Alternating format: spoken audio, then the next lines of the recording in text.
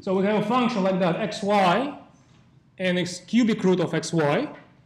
And the question is, is it differentiable the at the origin? It's a continuous function, so we, can, we no longer can use this blunt tool from the slide before. It's continuous function, we can just reject differentiability on the continu continuity grounds. So we have to make a further investigation. So first, I need to come up with the Jacobian matrix. I need to compute the partial derivatives. Here I do it by definition.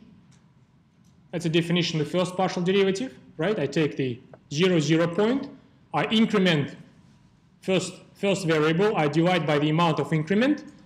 I, I hit some computations by the dots, but there isn't much of a computation state because as soon as you take one of the variables 0, the function will be constantly 0. So actually, this dot's not supposed to be because I'm not hiding anything. Yes? Um, why is that H has to be? Yeah, just because this is a typo.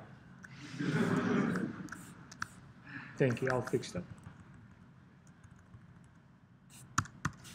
Yeah, it's supposed to be zero, of course. Thank you.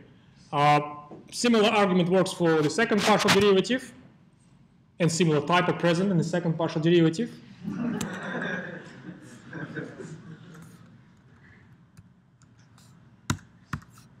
yeah.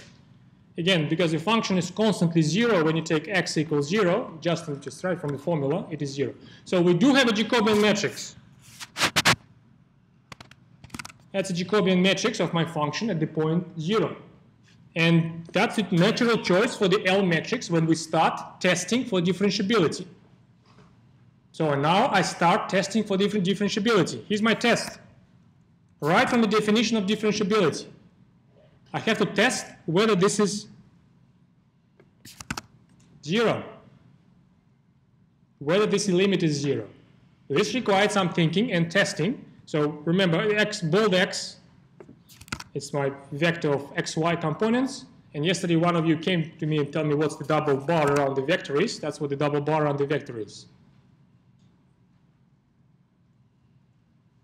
Distance function, or the length, or the norm of that vector. So I'm just substituting everything I have. Uh, f of 0, 0, right from here. This term disappears because my suggestion for the L matrix is 0.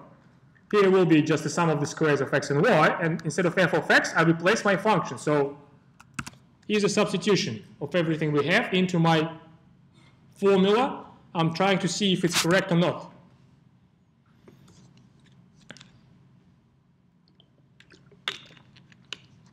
And this is the kind of questions you've done a few times this week in the tutorials, right? What your intuition by now tells you. Can you justify such a limit? Or is it not a correct limit? Well, one of the tricks you may try right here, right now, the tricks which you tried in the tutorials, the trick, tricks which we tried uh, during lecture classes last week is we can try a few directions and see if every, every of such direction delivers zero. Here, I'm trying a few directions.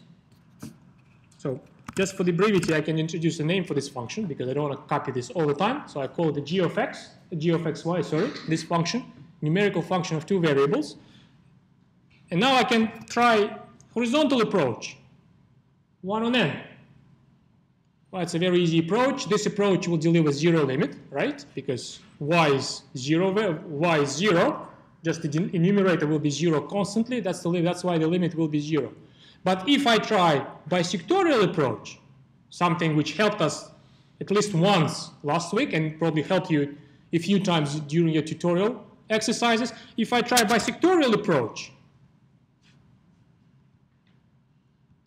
it finishes the question straight away. Look at this. If I try bisectorial, if I substitute here x equal y, and I take a sequence 1 on n for that, that's the, that's the formula. That's the expression which will come up in here for the g of xy, and this no longer goes to 0, right? If you, if you cancel out n, oops. If you cancel out n powers, that's how it will be. It will be plus infinity. That's why this limit cannot possibly exist. Not all, forget about being zero or anything else. It, it doesn't exist in the first place. Because we found two different approaches to the limiting point zero, which deliver different values as a limit.